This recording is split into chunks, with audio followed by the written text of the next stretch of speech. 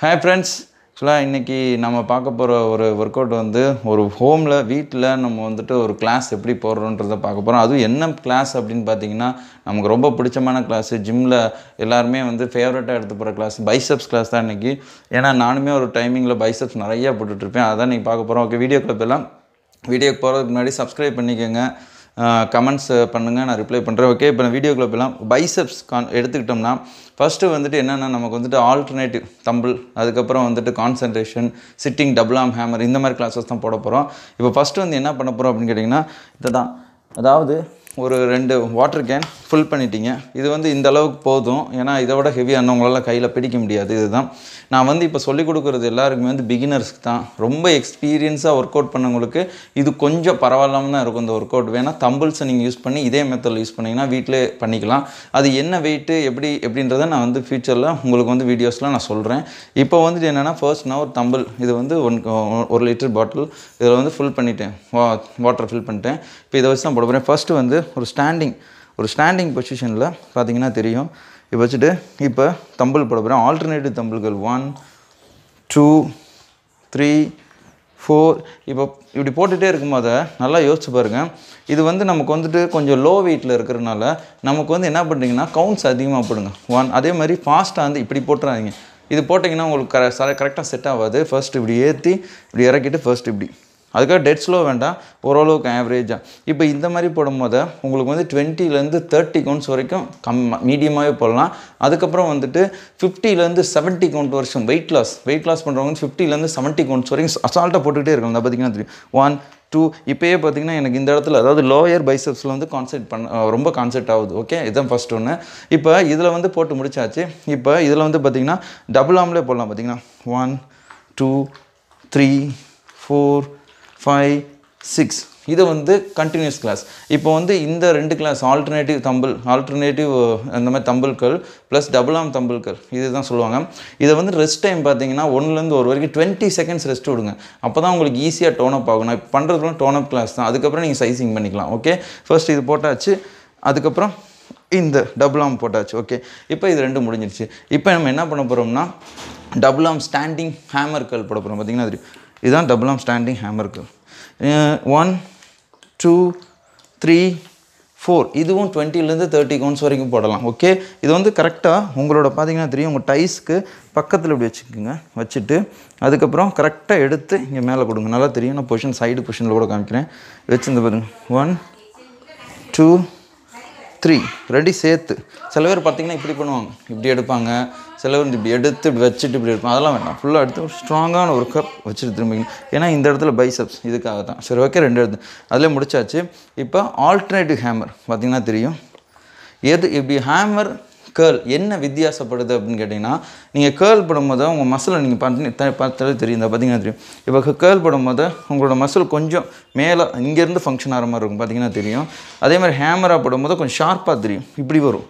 அதாவது sharp muscle அதாவது sharp மசிலுக்கு ஹேமராக போடணும். கொஞ்சம் ப்ராட் கொஞ்சம் அகலமாக இருக்குது பைசப்ஸ் கேர்லாக போட்டுக்கணும். இதுதான் ஒரு டிஃப்ரென்ஸு நீங்கள் ரெண்டையும் மாற்றி மாற்றி போட்டிங்கன்னா தான் உங்களுக்கு மசில் டோனப் ஆகும். Plus different work out apply பண்ணால் தான் அந்த இடம் ஒரு நல்ல டெவலப் தெரியும் உங்களுக்கு ஃபியூச்சரில் ஓகே இது முடிச்சாச்சு.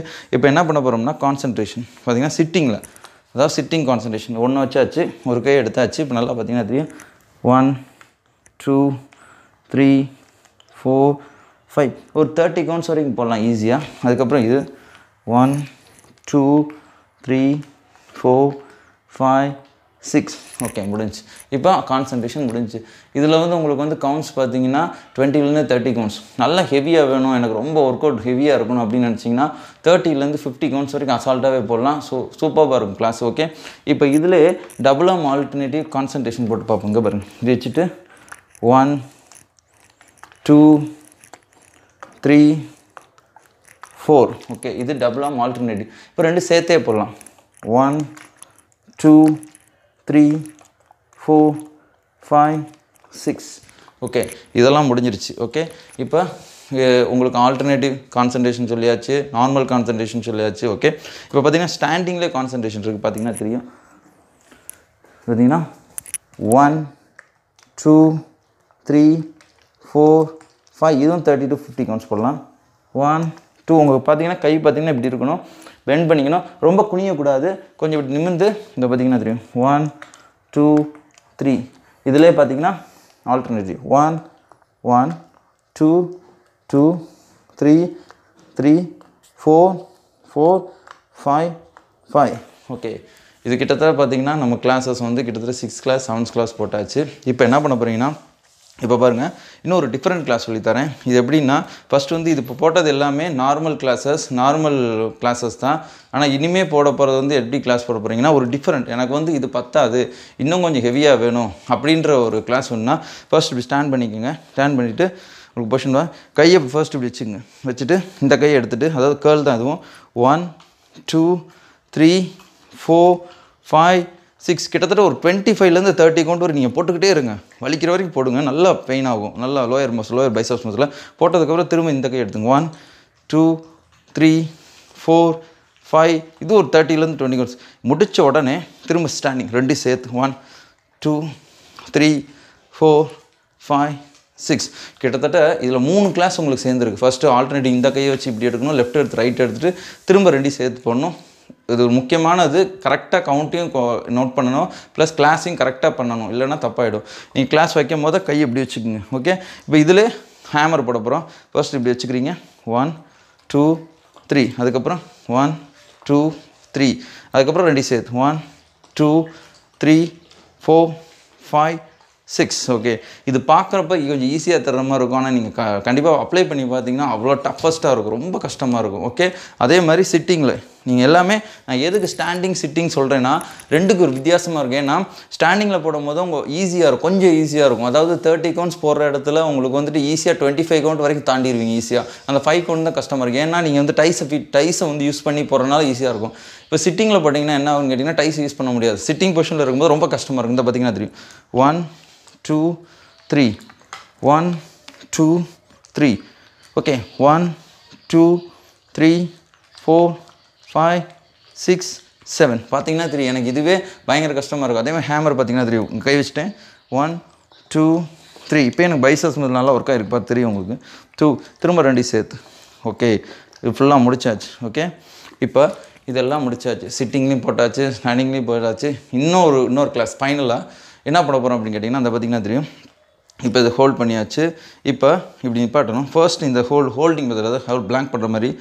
இப்போ ஃபர்ஸ்ட்டு ஒரு தேர்ட்டி செகண்ட்ஸ் இந்த கையை இப்படி வச்சுட்டு இப்படி ஹோல்ட் பண்ணிக்கணும். இந்த பார்த்திங்கன்னா தெரியும். இந்த. இப்படி. ஓகே இப்படி நிப்பாட்டணும். இந்த இதை கீழே வச்சிடணும். ஒரு தேர்ட்டி செகண்ட்ஸ் திரும்ப இதை இறக்கி இது தேர்ட்டி செகண்ட்ஸ் அப்படியே. ரெண்டையும் மாற்றி மாற்றி திரும்ப இது ஒரு தேர்ட்டி செகண்ட்ஸ் இது ஒரு தேர்ட்டி செகண்ட்ஸ் அப்படி பண்ணும்போது என்ன ஆகும்னு கேட்டிங்கன்னா நீங்கள் இப்போ போட்ட ஒர்க் அவுட் எல்லாமே கரெக்டாக அந்த அசம்பிள் ஆகி அந்த ஃபைனல் ஸ்டேஜில் இருக்கும்போது இன்னும் கொஞ்சம் ஸ்ட்ரெஸ் பண்ணும்போது நீங்கள் அடுத்த லெவல் மசில் அடுத்த லெவலுக்கு போயிடும் உங்களுக்கு ஜிம்மில் ஒர்க் அவுட் பண்ண ஒரு ஃபீல் கண்டிப்பாக கிடைக்கும். அதனால தான் சொல்கிறேன் ஃபைனலாக இது ரெண்டையும் ஹோல்ட் பண்ணி முடிச்சிட்டிங்க. அடுத்த ஒரு ஹோல்டு எப்படின்னா இப்படி தூக்கி ரெண்டையும் இப்படி இப்படி ஹோல்ட் பண்ணுங்கள் உங்களுக்கு தெரியும் பார்த்தாலும் இந்த பாருங்க. ஓகே இப்படியே ஹோல்ட் பண்ணி இப்படியே பண்ணுங்க கையை வந்து இப்படி கூடாது ஷோல்டருக்கு போயிடும் இப்படி வச்சுட்டு ஓகே இப்படி வச்சுட்டு ஒரு தேர்ட்டி சிக்ஸ்டி செகண்ட்ஸ் ஷார்ட்டாக நிற்கலாம் ரெண்டாவது விஷயம் உங்களுக்கு இவ்வளோ ஒர்க் அவுட் போட்டதுக்கப்புறம் தான் இந்த ஹோல் மெத்தட் நீங்கள் வர முடியும் ஓகே ஓகே இது ஃபைனலாக முடிச்சாச்சு. இப்போ பைசப்ஸ் கிளாஸ்லாம் சொல்லி முடிச்சிட்டேன். இதை நீங்கள் கண்டிப்பாக ஸ்கிப் பண்ணாமல் பார்த்துட்டே இருந்தால் தான் உங்களுக்கு ஒர்க் அவுட் அரேஞ்ச்மெண்ட் கிடைக்கும். நான் ஃபஸ்ட்டு போட்டது வந்து ஆல்டர்னேட்டிவ்கள் ஹேமர்கள் கான்சன்ட்ரேஷன் ஆல்டர்னேட்டிவ்களே ஹோல்ட் பண்ணி போகிறது ஃபைனலாக வந்துட்டு கான்ஸ் பிளாங்க் பண்ணியிருக்கேன் இது எல்லாமே ஹோல்ட் பண்ணியிருக்கேன் இப்போ இப்போ எல்லாமே இது வந்து ஒரு அரேஞ்ச்மெண்ட்டோட போட்டிருக்கேன். இந்த கிளாஸஸை கண்டிப்பாக நீங்கள் ஒரு ஒன் டூ த்ரீ ஃபோர் இப்படி செக்மெண்ட்டாக அரேஞ்ச் பண்ணி போனால் தான் உங்களுக்கு ஒரு கிளாஸ் போட்ட ஃபீலிங் வரும். இது வந்து நீங்கள் ஒர்க் அவுட் பண்ணுறவங்களுக்கு நல்லாவே புரியும். இப்போ பண்ணிகிட்ருக்கவங்களுக்கு புரியும். பிகினர்ஸ்க்கு கொஞ்சம் அதை நீங்கள் புரிஞ்சால் தான் இதை இந்த கிளாஸஸ்லாம் நீங்கள் அப்ளை பண்ண முடியும். இன்ட்ரெஸ்டடாக இருக்கும். எனக்கு இன்ட்ரெஸ்ட்லாம் போட்டால் கிளாஸஸ் நல்லா இருக்காது. ஓகே இந்த வீடியோ ரொம்ப பிடிச்சிருக்கும். கண்டிப்பாக சப்ஸ்கிரைப் பண்ணுங்கள் தேங்க்யூ